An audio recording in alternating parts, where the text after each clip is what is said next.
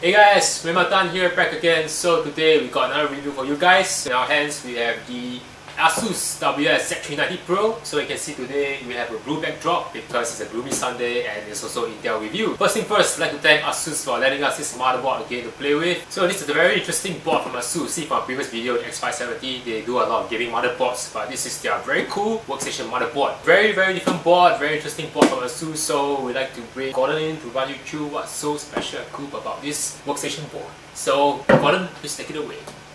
Okay, thanks Mel. So right now, first off, before I can start this thing, do the unboxing.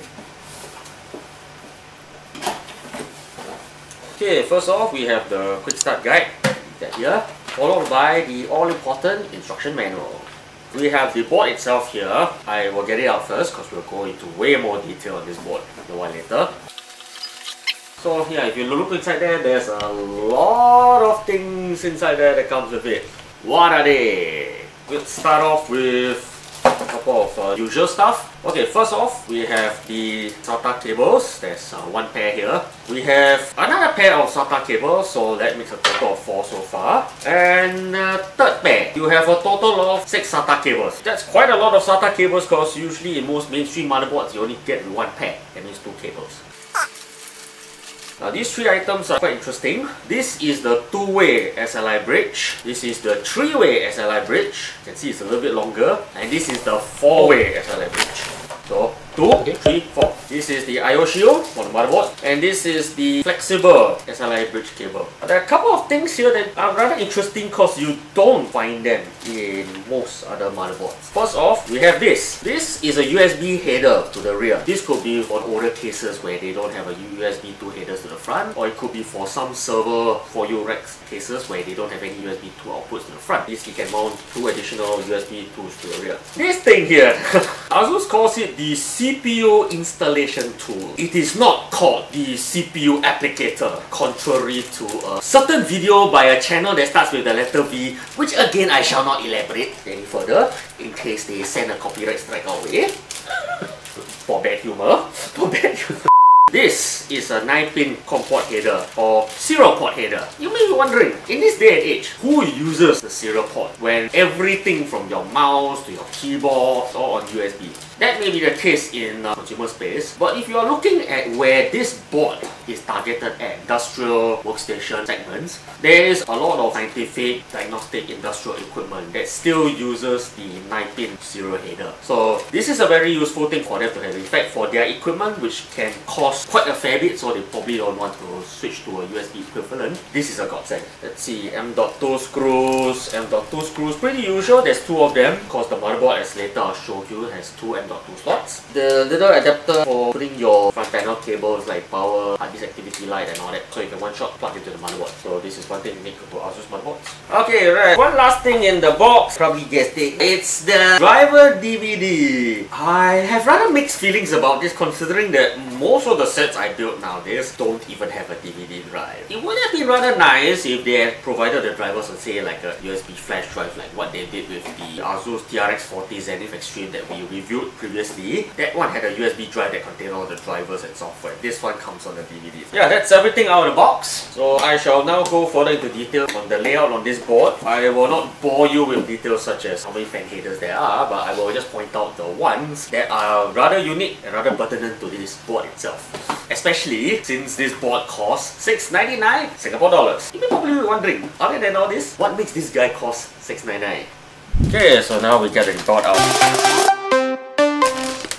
Hmm, I like the smell of fresh printed circuit boards in the morning. Now the first thing that strikes you about this board is that how black how discreet it actually is. Most Asus motherboards in this price range are usually very colorful affairs. Basically anything with the word ROG on the streaks like that will be multicolored with splashes of red. This guy is just plain black. Like my shirt today. I mean it has the typical features of a Z390 motherboard. Again I shall not bore you with the details of it. It has a lot of fan connectors. You can dig up more information on their website. What makes this board very notable and very unique from a lot of other Z390 motherboards is first and foremost you have U.2 connectors here. on set here one set here. Because this motherboard is geared towards the workstation, industrial server crowd. U.2 connections are often used by enterprise grade SSDs and other storage devices. So yeah, here they are.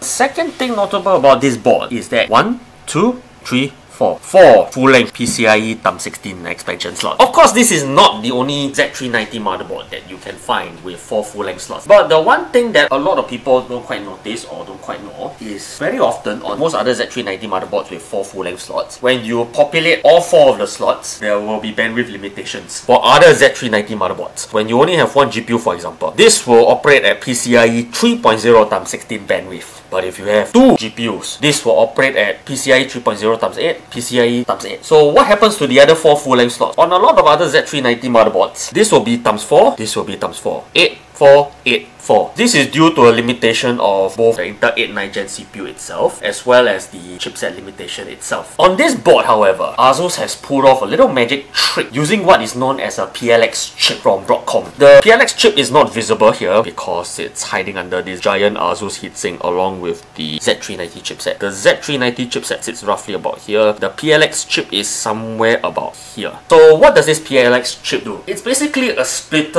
or multiplexer of sorts for lack of a better term. What it does is that it splits off the PCIe Express signals. Instead of having 8, 4, 8, 4, when you have 4 GPUs for example, it becomes 8, 8, 8, 8. You all know most modern GPUs require at least PCIe 3 times 8 to operate at their full capacity. The RTX 2080 Ti especially requires minimum PCIe 3 times 8 to work at either its full potential or near to its full potential. So in short, this board was designed to do something that is largely the domain of much more expensive HEDT platforms such as Intel's uh, X299 Skylake X X or AMD's new TRX 40 Threadripper platform. Yeah, this is the magic trick that he has up his sleeve. Let me rotate around here to the back I.O. itself. Yeah, first it's got two LAN ports, two Intel Gigabit LAN. Okay, in an industrial commercial setting, there are valid reasons why you may want two LAN ports. Mainly for situations where this computer needs to have access to two separated networks. So this one could be connected to network number one, and this could be connected to a second network. There may be IT infrastructure where a functionality like this is required. There's the usual stuff down here, USB Type-C, BIOS flashback button. This is to enable you to update the BIOS without having a CPU physically plugged in, which is always a good thing. The usual USB ports, audio, and for output, you have both a HDMI as well as a display port. So this allows you to use the Intel onboard HD graphics as display out. Another thing that makes this board a little bit special is the COM port header down here. That's your 2-digit diagnostic code LED. The other thing that makes this board very special is the Thunderbolt 3 header. You may be wondering, what does this header do? Contrary to what a lot of users may assume, you cannot just go out and buy, uh, let's say, the Asus Thunderbolt 3 expansion card. Plug it into here with the Thunderbolt 3 connector coming out and you get Thunderbolt 3. No, it doesn't quite work that way. Usually you see the expansion card will have one wire coming from it to here. That wire from here to the Thunderbolt 3 expansion card, its job is basically to tell the Thunderbolt 3 expansion card that yes, I am a Thunderbolt 3 certified motherboard, so take it away. If you do not connect that wire, that Thunderbolt 3 card simply won't work. Which is why you'll notice that most motherboards that do come with this Thunderbolt 3 header usually carry a sizable price premium due to a licensing guideline for Thunderbolt 3 from Intel. And of course, there's the usual others as well. USB 2, USB Type-C front panel connector, USB 3. So one last notable feature on this board. Keeping with the fact that this board was designed to handle 4 GPUs, there is one feature that is usually also only found on HEDT motherboards, which is this guy right over here. The 6-pin PCI power connector down here is basically to supply additional juice to the 4 slots. This is for situations where 4 GPUs, it helps to help stabilize the connection. You got two M.2 slots under the shield down here. One here and one here. So that concludes my little run through of this motherboard itself. To sum it up, the one main selling point of this board is the PLX chip sitting here, which allows this board to run 4 GPUs, something which is found only in the GTT platforms.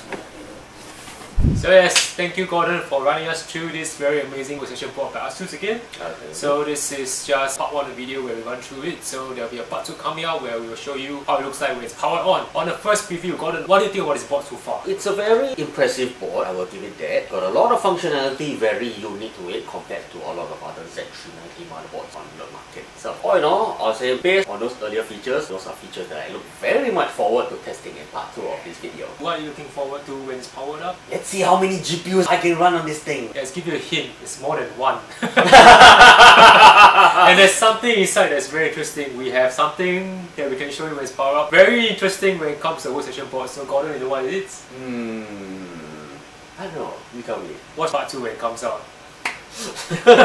so this is another board review. So if you'd like to watch more of my other board reviews, check out my Asus playlist. We have TUF Motherboard as mentioned in the earlier part of the video. TUF Motherboard, even the latest one with the Zenith Extreme. Yes, check it out. Maybe we'll power it on someday. So anyway, check out those videos and check out my other playlists. Click on I icon, subscribe my channel, click on the bell to know when I upload new videos. So check out for part 2, coming out very very soon.